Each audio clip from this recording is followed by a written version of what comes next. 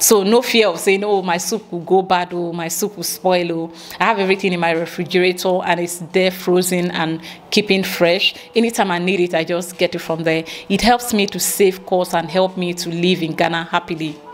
Please, for those of you buying internet bundle, don't do this. Mm -mm. You see these 10 cedis, 20 cedis, 50 cedis subscription. No, no, no. You are going to be pissed off if you do that. For me, should I advertise this network for free? yeah i'm going to advertise them because of you okay so i'm back again with another video and if you are new to my channel you're welcome my name is lillian and in this video i want to talk about how we survive in ghana even with the high inflation rates everywhere and given the fact that naturally ghana is expensive for every nigerian i just want to give you an hint of how we survive here and how to survive and why if you want to come to ghana and live here things you must not do if you don't want to go broke, if you don't go back empty, things you must never do. Number one on the list is don't come to Ghana depending on the monies you have made and saved over the time. You are going to feel so bad because, for instance, you are in Ghana and you have $20,000 and you go back to it every time to spend from there, you are definitely going to be unhappy. So, if that is you, I don't recommend you come to Ghana because you are definitely not going to be here for long. You're going to go back as soon as possible. If you have a business that you're running, I highly recommend Ghana is good for you. And especially if you are into online businesses, I highly recommend you are welcome to Ghana. You're going to love it. People have money here to buy things. People buy things a lot. Surprisingly, if there's an hair sale or makeup sale out there, anytime I go, I usually I'm usually surprised how how people turn up just from Instagram. So the vendors do their ads on Instagram and they have crowd turning up and they have these vendors sold out. So if you have an online business, come to Ghana, you're not going to regret it. It's going to be good for your business because the electricity here is stable and your computer or your phone, whatever you're using is not going to run out of power for you to say, okay, oh, I can't be online to attend to customers at this time because my phone is low. There's nothing like low battery in Ghana. It can happen, but not common. If you have an online business, you're welcome to Ghana. You're going to enjoy living here. Another thing I recommend that you do if you're you want to come to Ghana and you want to live here, if you're a content creator, please, you're welcome to Ghana. You're going to love it, especially if your contents are more of indoor contents, like tutorial channels. Maybe you're into natural hair. You don't necessarily need to change your environment it's not going to affect your niche i recommend you come to ghana you're going to love it. Because you will just be chilling in your house and coming out and people would think you're chilling. They wouldn't know you're working. And at the end of the day you're earning something no matter how little.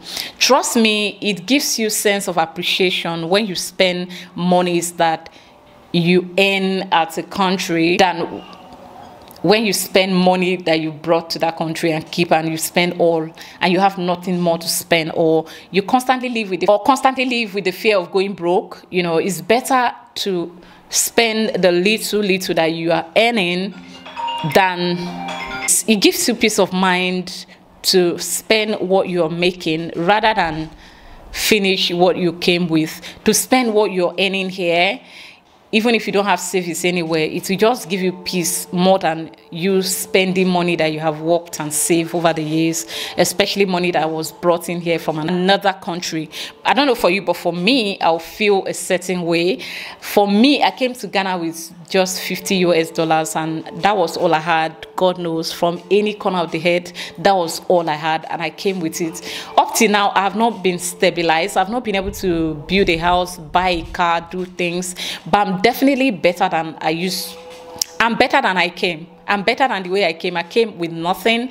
Right now, I can say, okay, my kids and myself, we are here, we are surviving, we are going.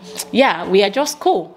So if you want to come to Ghana and be able to live here, you should depend on what, think of what you're going to do here, okay? Don't depend on what you have made over the years to say you want to come and live here and survive on that. You're not going to enjoy it, trust me another way we survive here for me is what I usually do once I have money or once my salary comes.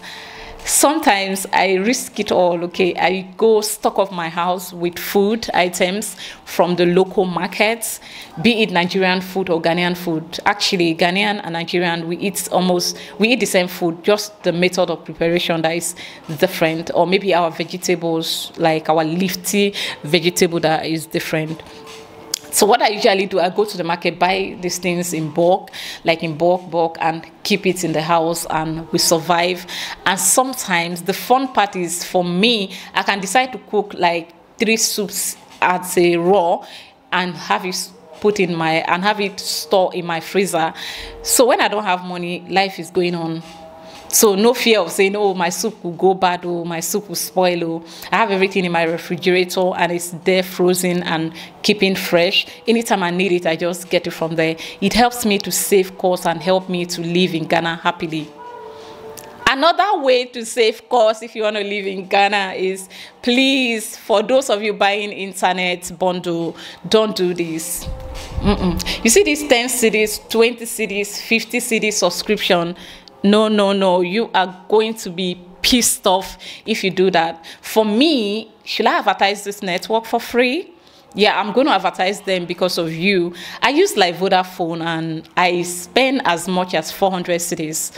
That's about $40 on data. And once I buy that data, on Vodafone. I do the one that will not expire, and they give me as much as 200 and something gigabytes, and I can use that for like two months or a month and a half, depending on how I use it, and it helps me to save costs. So when you are in Ghana, don't buy data 10 cedi. If you buy data 10 cedi and you say Jack, you just come back and turn like this to say Robinson your data is gone and you'll be pissed off. You keep buying.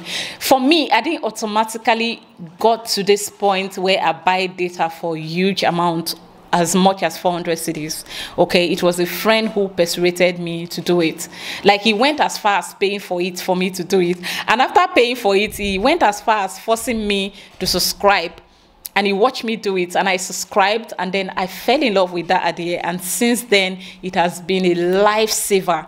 So don't buy data chenke chenke when you're in Ghana small small small you're going to hate you're going to hate living here. So buy data unlimited plan and just leave it like that, all right? Any other thing you want to buy, just try. Don't buy things little little little, okay? Another thing I want to talk about is transportation, please. If you want to enjoy living in Ghana, learn to use the public transportations. They are quite safe. All right. Learn to use the public buses. Okay. It's better for you on your finance and on your health. You're going to help you breathe.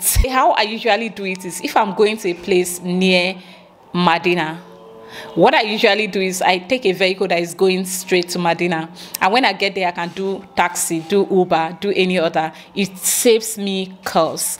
And then another thing is if I'm going to a place near Accra or going to a place near Seko or going to a place near anywhere, these are popular places in Accra. So what I do is I just take a vehicle that is going straight to that place, and then from there I will take a taxi going to my final destination. It saves me costs. Electricity bill, try to reduce the way you use your air conditioner, try to reduce some of the things you do with electricity. It's going to save you a lot of money. But it's because, because you see electricity, it can help you consume so much in a month and you leave you, it will leave you feeling angry and it takes the joy away from you.